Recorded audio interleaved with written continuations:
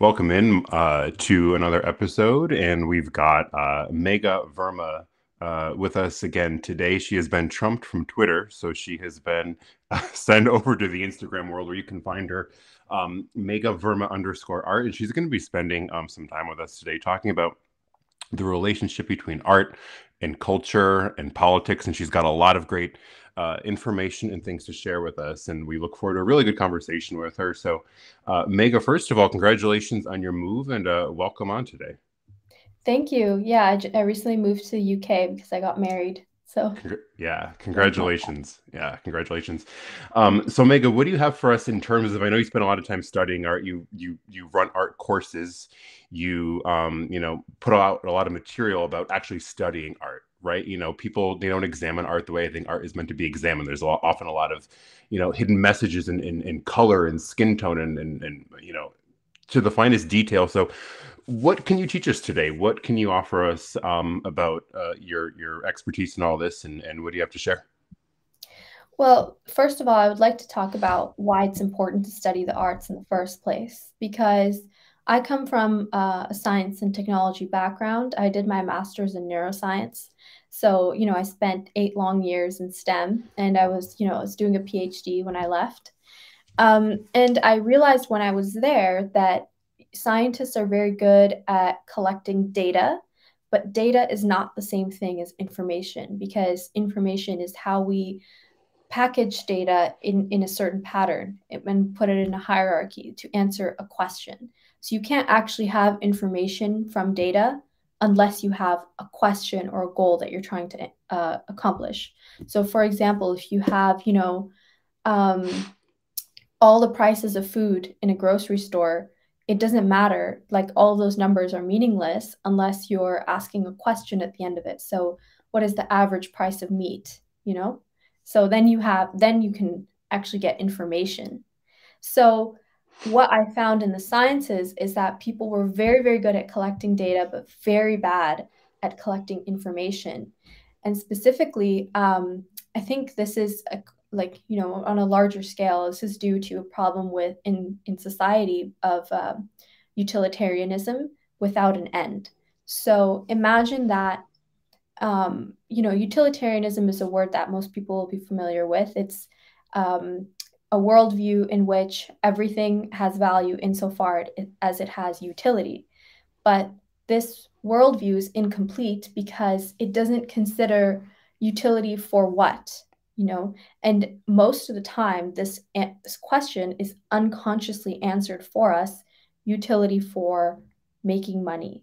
So when we have this, um, you, uh, you, when we have this like unconscious framework in everybody's mind for everything that they do then what happens is that you don't actually get a richer society which you would expect. You know if everyone's main goal is to make money you get a richer society.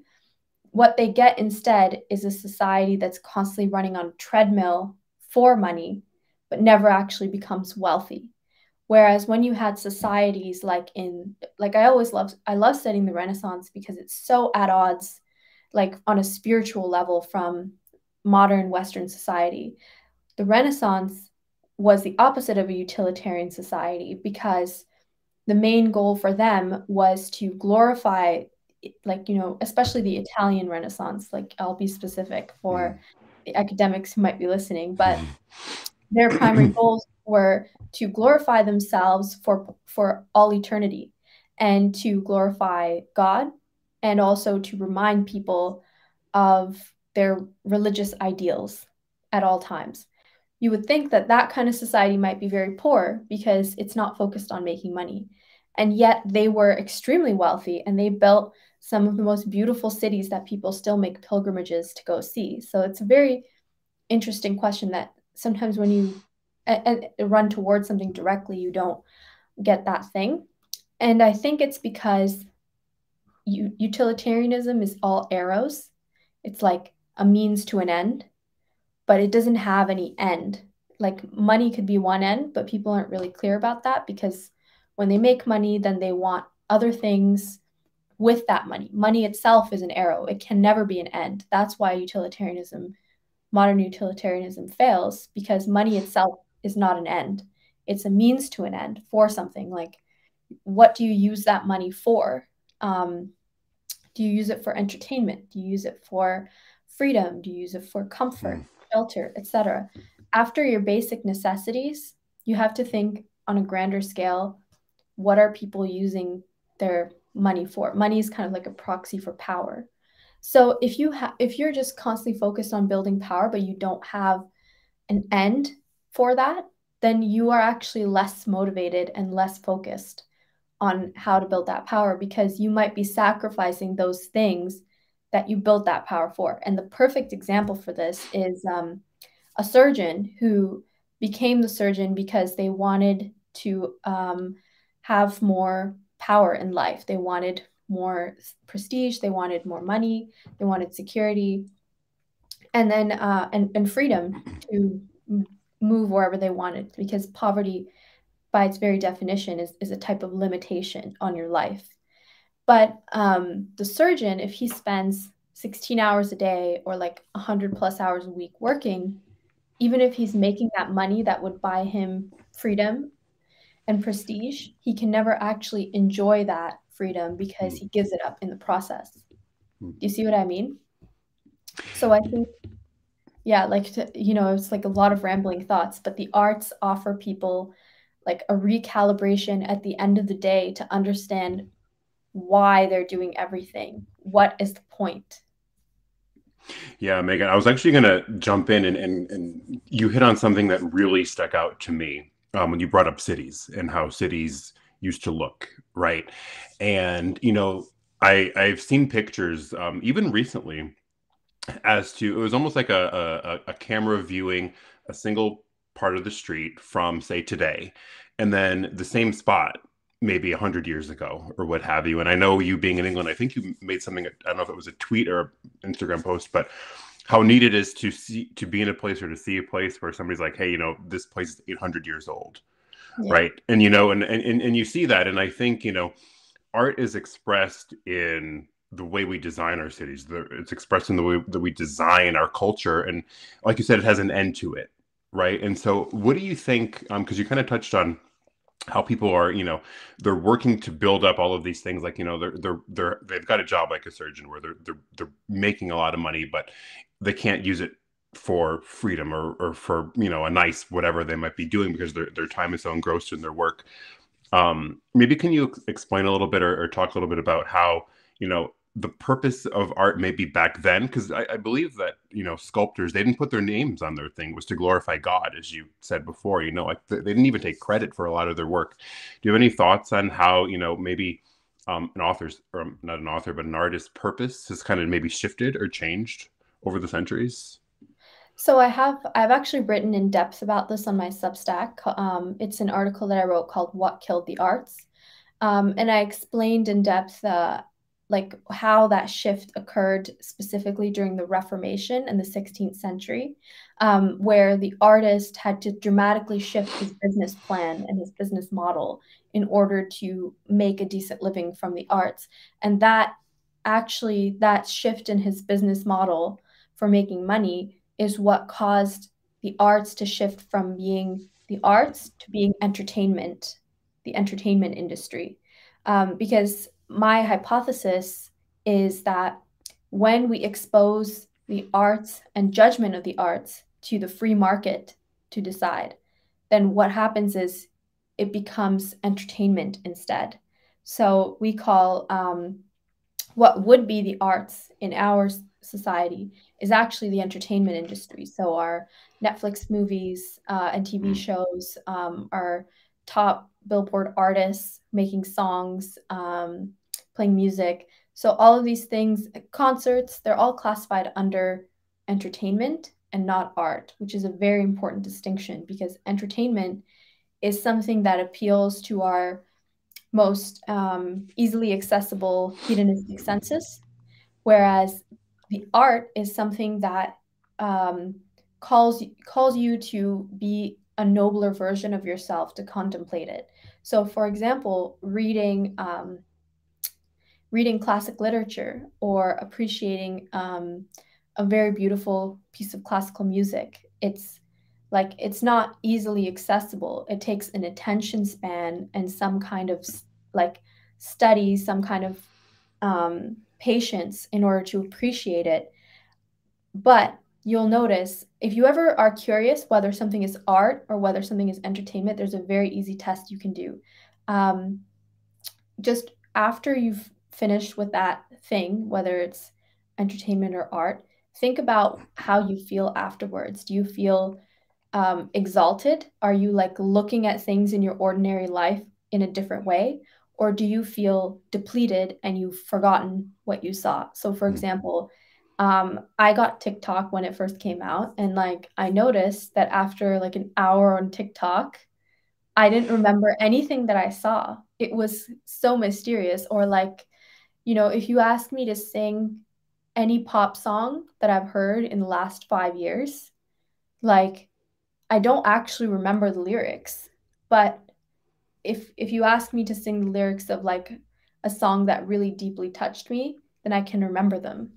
Um, or like you know a t- Netflix TV show that you binged, like you'll notice that there's some some shows that actually make you see the world differently afterwards, make you judge people differently or situations, and some that just are forgettable and you just watch them in the moment and were entertained.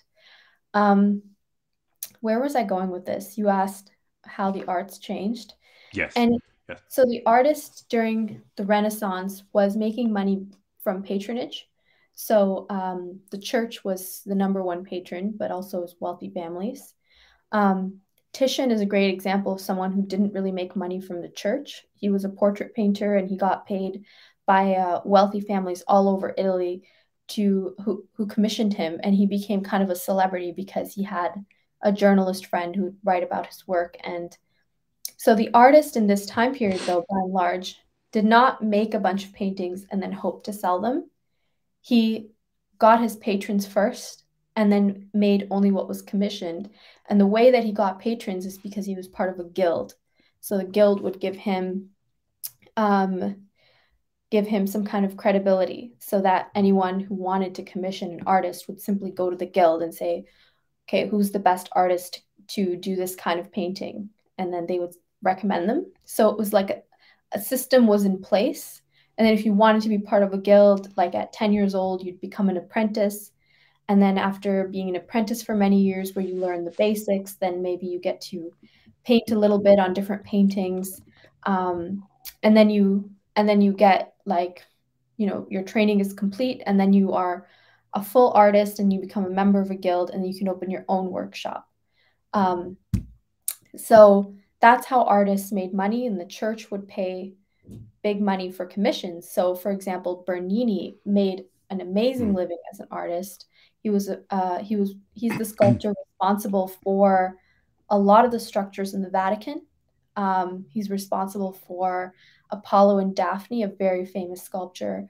Um, and he is like, he's considered to be one of the best sculptors who, like, you know, was the rightful uh, heir of like Michelangelo. Like, that's how good he was. Whereas artists post Reformation were kind of, they're really changed. They would make a bunch of artwork and then go out to the marketplace and hope to sell it. So they started catering their work mm-hmm. to what sells instead of what is like what they want to make. So um, when the church commissioned something, they said, okay, make something to glorify Saint Teresa. The artist has a lot of um, freedom to make what he thinks is an interesting and incredible piece. He gets to actually be an artist. Whereas when an artist is just focusing on what sells for the masses, he's going to lower his quality um, and make something as easily accessible as possible. Yeah, let me let me ask you a question on that because I remember um, watching a talk from a few years ago, and it was a debate actually on the biblical event of the Annunciation, where the angel Gabriel appears to the Blessed Virgin Mary and tells her that she would become the mother of Christ.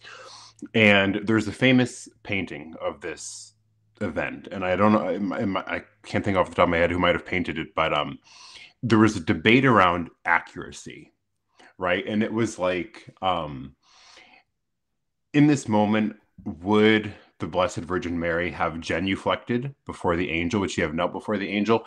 Or would the angel have knelt before her? And there was this interpretation of, you know, kind of blending art and kind of blending accurate, say, theology. So maybe if you can, uh, if you have any thoughts on, do you think that when looking at art of a particular event, so this event took place, say, 2,000 years ago, but people are creating it in art today, do you think they should be free to kind of put their own interpretation on how it might have looked? Or do you think they should strive for a, a, historical accuracy in the sense that you know what? I have to draw the blessed virgin mary standing in my work or paint or whatever because she never would have knelt before an angel or genuflected before an angel. So how do you, how do you think um, what do you think you know in terms of that debate of accuracy with historic events and and actual art today so, uh, if we look at the history of, of this type of religious art, there's many artists who've already gotten in trouble for this. Um, so, for example, Veronese, um, Mantegna, they would um, paint biblical events of uh, biblical characters wearing clothes that people wore in contemporary Venice, you know, of mm-hmm. their time period. Mm-hmm. So they mm-hmm. got in trouble for that because it was not you know historically accurate clothing like why would these biblical characters be wearing a dress that someone wears in 15th century italy mm. so mm. um, it's already happened and i think rather than focusing on the material reality of the historical event it's it's actually good that artists i think it's good that artists take their artistic liberty to describe an event in a story because um, they're capturing the spirit of what happened rather than the physicality of it. And I think if something like, you know, did Gabriel kneel or not? I think uh, there's there's a very famous um, altarpiece by Giotto where the angel is kneeling for the Annunciation and Mary sitting on on a throne. Um, so it's like because it's up to because it's up for debate anyway, and there's no, you know, set rules about it, it's I think it's okay that they paint it like that uh, because they're capturing the spirit of the story in the way that they understand it.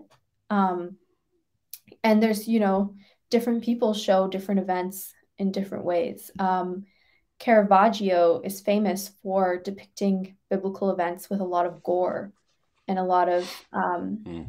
you know like he shows kind of the hideousness of these gory events and reminds us that they're not it's not all flowers and rainbows.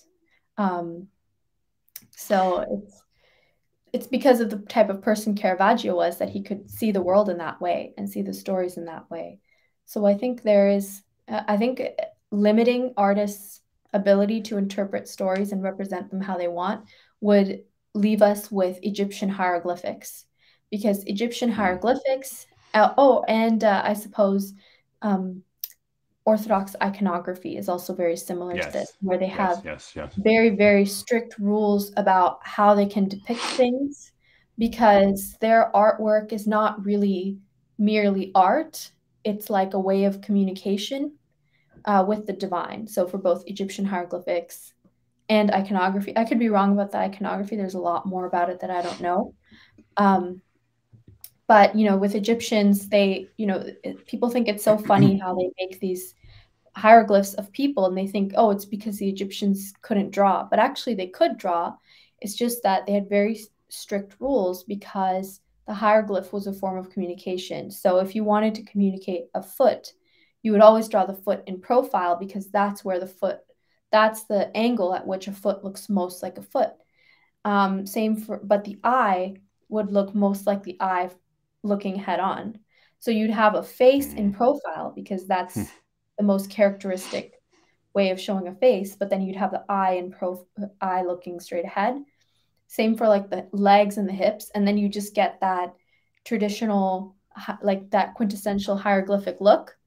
Um, or they'd show like a pond from above, but then show the fish sideways in the pond, and that's obviously wrong. And then the trees would would not be looking at trees like aerially from above. The trees would be like flat out on all sides.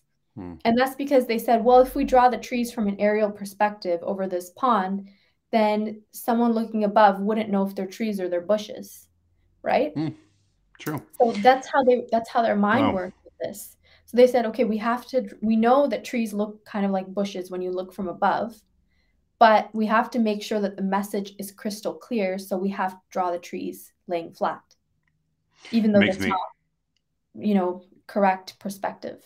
Yeah, it makes me think of how you've probably seen those drawings, the street art right? Where like it's painted on a road, but if you're standing at a certain angle, it looks like there's a giant hole or in the road or a cliff that you're falling off where it's just perspective it's just art and they you know you have to be able to look at it at the right angle to get the actual effect um not to be redundant with this but what do you think about um like you know if we take historical events again i'll go back to christianity here like we take christ right? He was one man who you know had a certain skin tone had a certain eye color.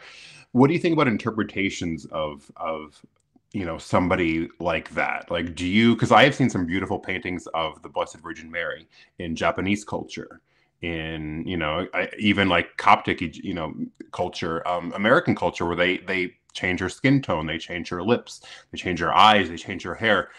Obviously she was only one person who had only one sort of skin tone and whatnot. So um do you support you know different interpretations of maybe a historical figure? Or do you think that we should try to be you know accurate in our depiction of them? Or, or do you see both sides to that? How would you what do you have to say about that i think i see both sides and i think the side that wants to um, keep the character consistent with historical accuracy i think that side is not looking at art as an artwork looking at it as more of a historical account um, you know, like a like an artifact or like a, a mm-hmm. science diagram.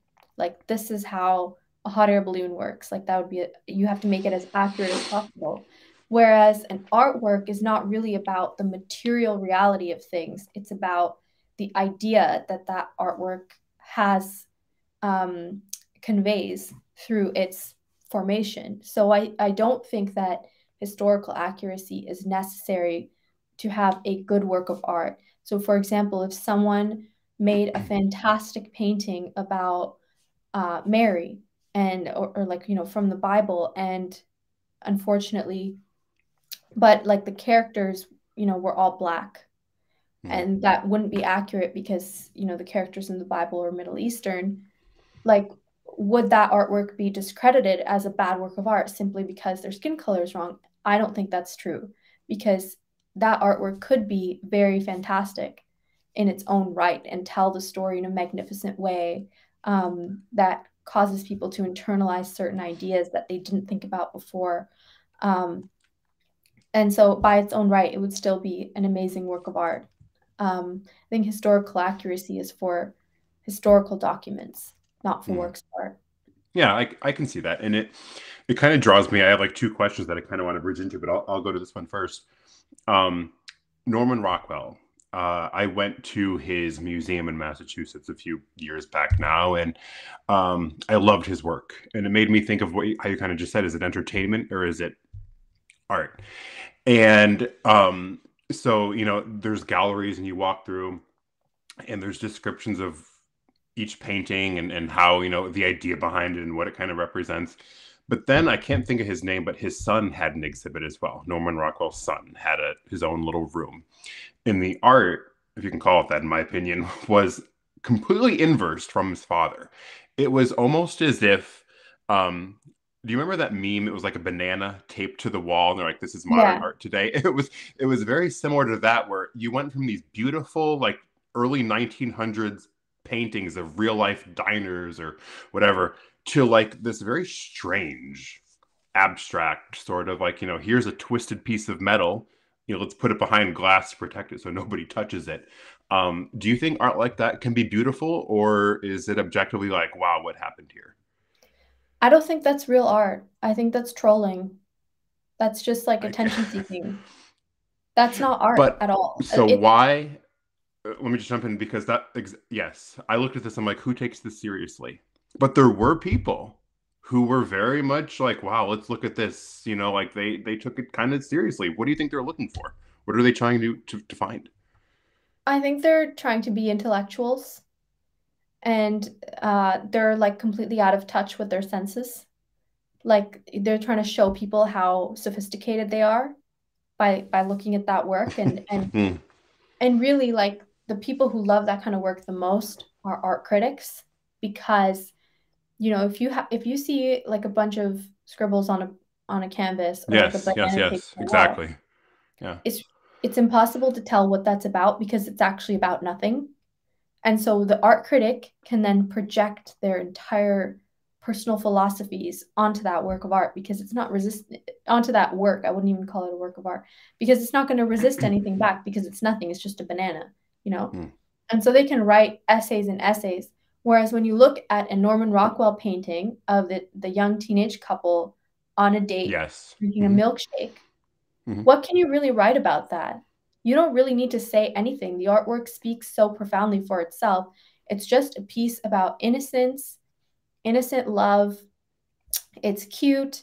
Um, it's it's you know it's making people nostalgic for a certain time in their lives or maybe if they have kids they're thinking about that it's just mm. capturing a moment that is both ordinary and extraordinary and it's archetypal you know the the puppy love stage of youth when you're finally figure you're first figuring out that you can have crushes on people. So these kind of artworks you can't write a lot about them because they're so good. And mm. i realized this firsthand when i was teaching my art club and i had a lesson on ivan shishkin. And for most of the uh, ivan shishkin is like an amazing landscape artist from russia in the 19th century. And um, okay. he was part of this group called the wandering artists the wanderers. Um, and his landscapes were, you know, boring to write about or talk about because you couldn't say anything about them, but they were magnificent. They were hmm. beautiful. Mm. And you actually did want to mm. look at them for a long time because there was a lot to take in and look at. Like he captured the essence and feeling of being in a rainy, muddy day without you ever having been there. Um, he captured the spirit of the landscape.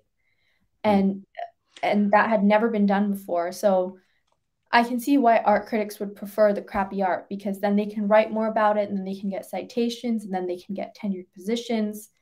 Um, but art that is actually good speaks for itself. Yeah, I was just pulling up a picture here because um, I wanted to refresh my memory. So, like you said, I, I, I'm remembering the people walking through the Norman Rockwell part right and you are 100% right it's it's almost like you describe my experience people are looking at these pictures of again the couple sharing the milkshake or whatever and there's nostalgia like wow it looks comfortable it looks warm you know um it's I, you can almost feel like a good feeling from it but okay the kind of I guess you could say just the conversation stops there. But I pulled up some images. His name is Peter Rockwell, um, the son, and there's a blob of clay with two feet on the bottom of it. And I remember people, like I said, looking at this like, wow, you know, almost like they're trying to interpret like what is actually going on here. And I think that might kind of point something out here is the pictures that Norman Rockwell painted, what's there to interpret, right? There's two yeah. people sitting here. But what is this mess? What is this blob of clay or, you know, wire sticking out? Yeah. I, I was just going to ask you, do you think that so is the artist in this instance Peter Rockwell? Is he intentionally trolling, or yeah, do you think they're, they're intentionally trolling? It's it, they're not. They may not be consciously aware of it, but they are. It's like you know when you start to um, when you're a little kid, and everyone's listening to your story for the first time, like in in a big group, and mm. then you unintentionally start lying and exaggerating to make your story more exciting so that people will listen to you longer. Hmm. It's that feeling, you know? yeah. And and all kids have experienced True. It. And then you feel yourself and then afterwards you ask yourself, why did I lie? You know, mm. why why did I make up all this stuff? You had to engage. It, yeah. And it's yeah. like when you're aware of these behaviors, you can understand them better. Um, and you have to realize that the art museum and the art critic and the academy and the salon, these are all very new things art in the Renaissance, there was no salon, there was no academy. There was an aca- there was a guild to train people how to create the work, but that guild's responsibility was not like, you know, reviewing artists or reviewing art or getting citations or tenured positions. And the people buying the artwork were not trying to do that either. They were not critics. They were not making getting these commissioned paintings to put them in a museum. They were getting them to put them in their house or mm. in a church or in a public square. So these artworks were literally made for people to enjoy, not for stuffy, onanistic, you know, navel gazing academics to talk about.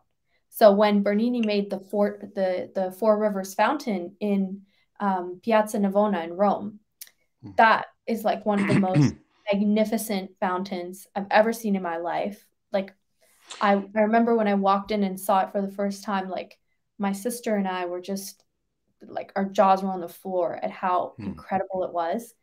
And it's like it engulfed you because it was so large and it forced you to walk around because it was so big you couldn't really make sense of the whole picture. Hmm. And sure. we were just in awe. And it was really made for people. It was not made for academics to interpret. Of course, you can interpret it because you know he'll have put symbols in there or um, to represent you know the different rivers or like historical mythical um, references that he's making in the fountain.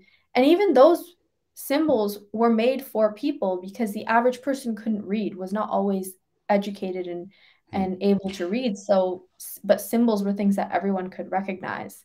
So that's the the creation of the art museum ironically is probably what contributed most to killing the arts because mm. it hmm. created this academic class of interpreters so let me ask you this then um, let me just take da vinci for example you know his work is in you know you know museums around the world that are again very you know protected with security they're behind glass you can't access it you can't touch it um, my first question would be was somebody like Da Vinci famous in his time where like, you know, did people recognize him to be or anybody else I'm just using as an example, but um do you think these artists are recognized while they're alive or is it a, you know, centuries have gone by so we see them in a different light? And do you think that um was their work again with Da Vinci was he somebody who do you think he did private things for people? Like is there hidden work that we might ne- will never see that maybe he painted for a friend or for you know a, a, guy who said hey can you you know work on this for me?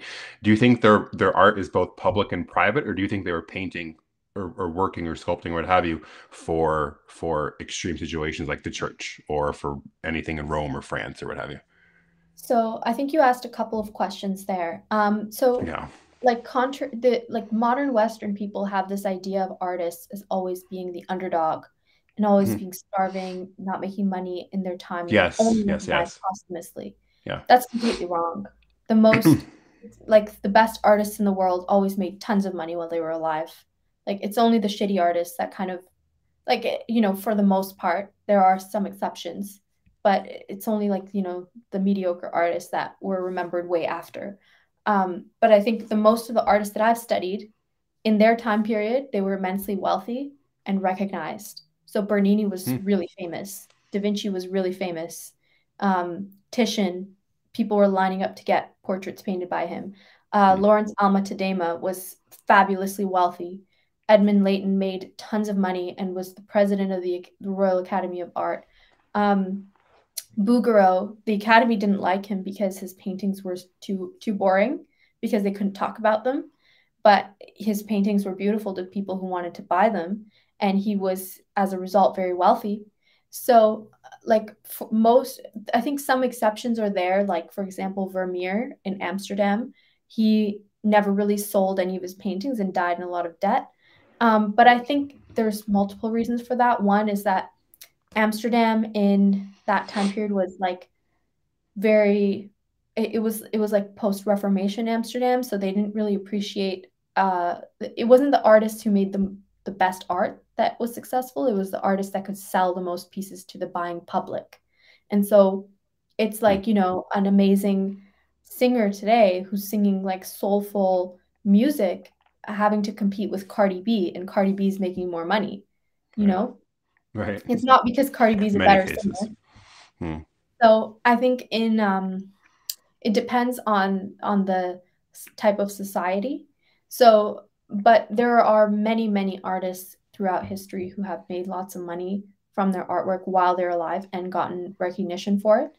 Um, with regard to um, whether or not there's any hidden work. Yes, yeah, yeah. I curious. think um, that's a very interesting question, and I think that there are a lot of um, you know art historians who are devoted to you know work at like Christie's or things like that, mm. who are trained at recognizing uh, an artist's hand in different works, and so sometimes pieces turn up that you know somebody inherited or somebody found and um, they bring it to a specialist and that person can recognize if it's done by this artist or if it's you know just a nobody who made it. Um, and they you know they do x-rays to see like if, what was the underpainting what was the sketching like uh, what type of paint did they use um, what type of a board was it sometimes it'll be signed sometimes it won't but um, I think the most infamous example for this is because he ran a very big workshop where he had like 40 students working in his workshop for him and they paid him money in order to get training under him. So many of his students adopted very similar styles to Rembrandt. Um, and so, actually, a lot of paintings that were attributed to Rembrandt were done by his students or his followers, and they were not actually his. So, it's kind of the opposite. Um, yeah, but I'm sure there's lots of paintings that will continue to turn up that have been done by old masters, but you know they were not found earlier. Hmm. Do you think that there's an overanalysis sometimes? Because I remember when the news of um, don't know if they did an X-ray on the Mona Lisa or or what, but I remember this was like breaking, right? You know, they they said, "Oh, look, there's multiple layers of the Mona Lisa. There's, you know, was it a woman at one point or that was a man at some time or whatever and you know all these like stories came out and you know people started analyzing right like uh, were there different undertones of color and all of that and they start making all these cases do you think like if you were to go back um and say you know ask him if you could ever do such a thing like what was going on here. Do you think there's a chance he might said like you know i was just playing with things? Whereas you know yeah, fast forward to now people are i think people are like um like especially the conspiracy theory crowd mm. they i mean not to like like maybe some of the things they say are true i don't i don't deny that. Yeah. But like they are i'm talking about like their nature. They hmm. like mm. Having secret knowledge that no one else hmm. has like it makes hmm. them feel special it gives them some kind of importance in life you know so they try to find secret knowledge it, you know, it's like the Robert Browning books. What is it? Da Vinci Code. Yes, Dan Brown, maybe. Yeah. Yeah, it it fills their life with a bit of enchantment that they didn't hmm. have mm. before. Did I say Robert Browning? I think it's because I. Yeah, no, I, I, I yeah. I was, okay. I was, reading a poem by Robert Browning, but I was thinking of Dan Brown. like I said the wrong word. Yeah.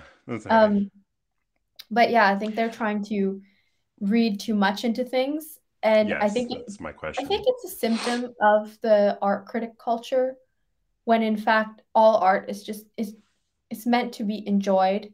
So you look at a painting like the Mona Lisa instead of thinking so much about oh is this secretly a man is this secretly you know is there like a Fibonacci right. sequence to uncode right. and you can open this thing and like unlock these secrets like there's no point in doing that um mm yeah, I agree. I think I think that's pointless, in my opinion. Because so, what are you going to do with that information? Is it going to lead to a treasure chest with money? right. It doesn't gain you anything at all. And you, um, you know, you hit on another point earlier that I wanted to kind of jump back on. So about art versus entertainment. I was talking to a guy. It was earlier this year, I think, and he was um, telling me that his whole life he was a militant atheist and never set foot in a church, never talked about church, never saw a church, none of these things. And he said in the 1990s, it must have been 92, 93, I think he was he was referencing. Him and a few friends went on a trip, and I believe it was to Montreal. I think he said, maybe Quebec, but um, I want to say Montreal. And he said him and his friends were outside this beautiful basilica that was there, and um, and he told me, he said, so my friends and I we decided to open the door and go in he said to this day, and this was 2022 now, he said to this day, um, I remember the feeling that overcame me when I opened the doors and just looked up because the beautiful art in this cathedral, this basilica. Um, I can feel the feeling today that I felt 30 ish years ago.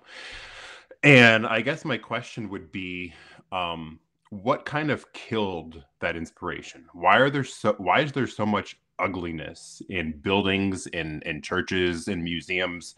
Um, when you was in England, you, I'm sure you've seen some beautiful old, you know, century old, multiple century old, uh, millennial old buildings that just stand out, that elevate the soul.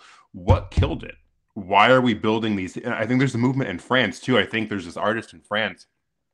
He's building these ugly glass like box buildings and people are impressed by this or what have you what shifted what changed what brought about this ugliness that people are, are revering as something inspiring what do you think? I think that's a very complex question. I think it's not one thing. It's lots of things converging and manifesting in this one effect.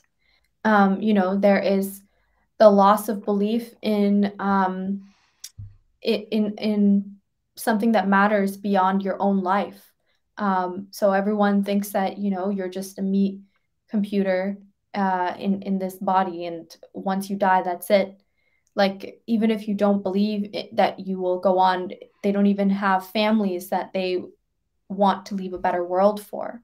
They don't have an, any idea of belonging in some kind of line. So they don't have any respect for their ancestors and they don't have any hope for their descendants. So they're kind of isolated um, on a metaphysical level.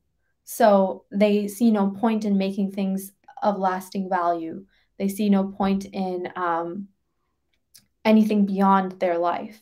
So I think that's part of it, and that leads to a type of depression because then what? Why does anything matter if you're going to die in like you know a couple decades? Um, there is, I think it's also a matter of bureaucracy because architects you know young people who want to build things that are beautiful want to make uh, wonderful works of art in society they they just have so many barriers of bureaucracy against them because the people who are the leaders of society have put those there. And they even the ones who are the leaders they might have inherited them and they they feel powerless in removing them um, because they're just so much. And I think the bureaucracy, the paperwork, the institutions that are just bloated with administration have are like primarily responsible for limiting the ability of artists to make good work because you know making a building does cost money and if yes. you know a company is not willing to fund somebody's ideas because it doesn't go with you know city guidelines or what the larger company wants them to build um, or what the, the you know the academics are saying in the papers to make um, and they just won't fund it so i think it's because the patrons are um, motivated by the by capitalism rather than being motivated by higher ideals. And that's that's another reason for it. And so i think the idea of an aristocracy is you know a noble class of society that has money and wants to use and is able to use it for things that won't necessarily make a profit, but will improve the lives of their citizens, of, of the people that they live with um, immeasurably. And then also, you know, leave behind something beautiful and amazing for their descendants. Um, a great example of this is Notre Dame. So, mm, the, yeah. the book about Notre Dame is actually about how it was built over the centuries by people who lived in that community and there were it was built by generations and generations putting in work into Notre Dame and it was very interesting because it talked about the fact that there were some people who worked on Notre Dame who would never see it finished like their grandchildren or great grandchildren mm. see it wow. finished so it was that it's that ability to see something is mattering beyond your life i think metaphysically and philosophically we don't have that um, and also you know the the ruling class of our society is not run by ideals they're run by uh, you know what makes the quickest profit while they're in power because their power is also ephemeral.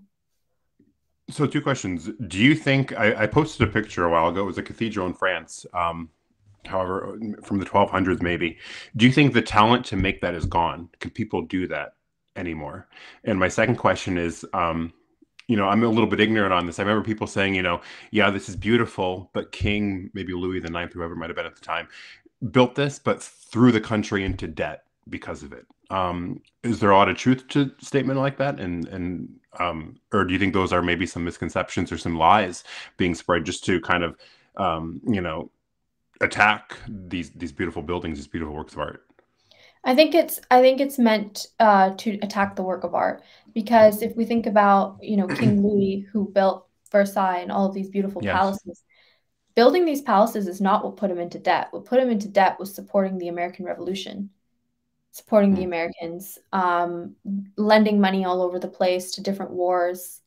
That's what put France into debt before the French Revolution not building its palaces. And actually, its palaces and beautiful buildings uplifted the people and helped them feel that there's something worth living for, that they loved, that their country was a beautiful place to live, and they could enjoy these public spaces. I think Wrath of Gnon is a great Twitter account I used to follow, and mm, um, mm-hmm. does a great job explaining how beautiful cities make the people who live in them more mentally healthy and then mm-hmm. mentally healthy people make make for better societies with less crime and more camaraderie and you know just just better societies in general um and i and if you think about like you know is it worth making these useless build useless artwork and buildings and it could throw the country into debt think about how much countries today wealthy countries today do that throws pe- throws them into debt yeah. that offers absolutely yeah. nothing to their people like you know helping uh, refugees from like other con- like countries oceans away while their own people are starving and unable to pay for heating during the yeah. winter like isn't that a waste or spending tons and like millions and billions of dollars building windmills that actually don't help the environment kill birds and also worsen the environment because you know you're mining for the materials and uh, funding the factories that are making them so it, it, it's like there are a lot of ways that governments waste money, but I don't think the arts is one of them. And in fact, the money that you spend in arts pays back pays you back in ways that you can never measure in material ways. Mm. So is that talent gone though, Megha? Like, do you think people can still build that? I think the ta- like the raw talent. I don't think it's gone. I think it's like I think it'll be difficult though to rebuild a society where you can collect people to build that again. But then again, we have like the power of technology to help us. Um, but the thing is, if you know, if the arts are really killed, if something really kills them, you have to start again from scratch. And according to this art historian I love, Bernard Berenson, art goes through different stages of life, just like a living organism. So it goes from like primitive to archaic to um, like to classic, you know? So it's it goes through these stages as mm-hmm. it's developing. So, you know, you had in the early Renaissance, they didn't really understand perspective. And so even though there are many beautiful paintings, um, you know, the perspective was off or you know, if you look at Botticelli's Venus and you look at it carefully, and I have an article about this on my Substack, the mm-hmm tracing how art developed through the depictions of Venus over time. And in Botticelli's Venus, um, the arms and body parts are kind of lopsided and the wrong size and, and placed wrong. So if she were a real woman, she would be like really deformed. Um, but it's it was still beautiful because you know the spirit in the work was still there and it was masterful. Um, so I think that the in order to build up to that level of skill where we can build a Notre Dame again, it will be difficult, but I think it's hard to say that it's impossible because we have so much incredible technology today to help us. Hmm. Yeah. Um, I did see, I don't know if it was in Florida or somewhere down south here, um, where they did build something that was very reminiscent of, you know, a, a you know, 16th century um, building in France, and machines did assist as they wouldn't have back then. But people are like, wow, so it can be done. You know, like the the the ability is there. Um, but there's just maybe the desire to do it, right? The and money. so just in the money, right? The, the money and yes, more than anything.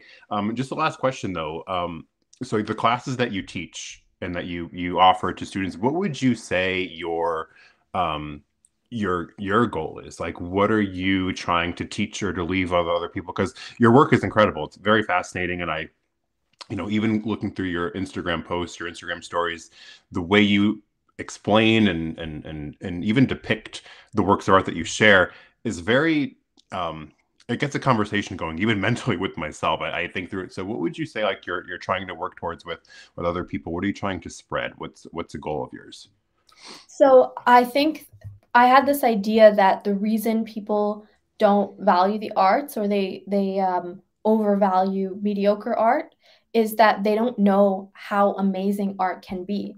So the we um, in the modern West, you keep seeing the same five paintings over and over again to represent classical art, which is you know the Van Gogh painting, the Gustav Klimt, the Kiss painting.